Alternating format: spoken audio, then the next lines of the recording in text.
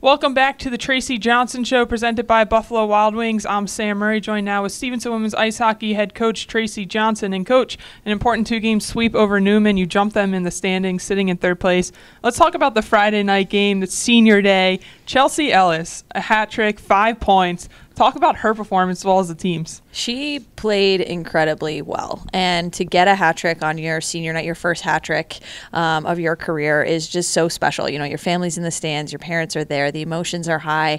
I just felt like we came out in that game and just had so much energy, and I just knew um, it was going to be a game and that we were going to be playing our hockey for the whole thing. And um, it was just fun to watch. Again, the energy level and.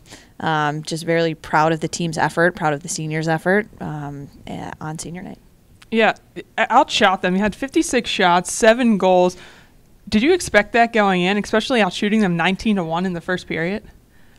you know, we, we try to put an emphasis on putting the puck on net. So, um, you know, that's a good thing. I guess if you had asked me before the game, I didn't necessarily expect a 19 to 1 shot deficit, but uh, super proud of them. That's what we need to do. That's what, those are the things we need to focus on going into this last stretch of our season and into playoffs. So, uh, to build off of that momentum and to be playing like that towards the end of the year is what we want. And really excited about that. And uh, hopefully we can keep that going. Yeah, on Saturday, you traveled to Neumann for the home and home go up one nothing. You guys started late, had an injury delay. Neumann ties it, but then you guys go back ahead head on the scoreboard. Talk about the adversity of, of battling through that type of game. Yeah, and we knew it was going to be tough. Anytime you play the same team in a weekend back to back like that, the second game is usually typically uh, a little bit more of a grind, and especially on the road.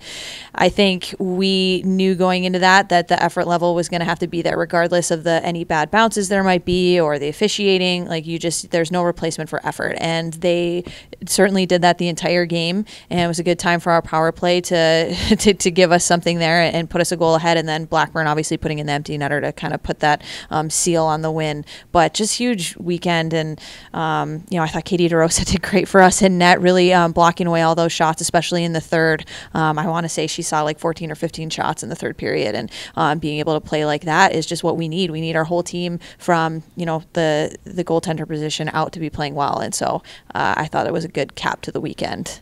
And moving on to this weekend, another important two game series, this time on the road for two at Manhattanville. It's going to decide the MAC title, and then also you control your own destiny of finishing third or, or if you slip yeah, we're playing for a championship, so that's always a good thing to to kind of put on the line there and know that the emotions that come along with that as well. And um, you know, we're on the road. We've played there a few times now, so we kind of know what to expect of of them on the road. And uh, just really looking forward. It should be a great weekend of hockey. And like I said, especially with how we've been playing towards the end here, um, just excited to see how that goes. And I know my team will be prepared. Well, Coach, we wish you the best of luck, and I can't let you get out of here without saying a happy birthday. Thank you. So we'll see you back here next week.